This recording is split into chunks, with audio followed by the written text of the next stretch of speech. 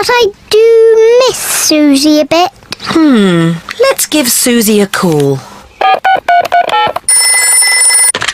Hello, Mrs. Pig. May Peppa talk with Suzy, please? Hello, Suzy. Hello, Peppa. We can be friends again, if you say sorry. I'm sorry I said you cheated, even though you did cheat.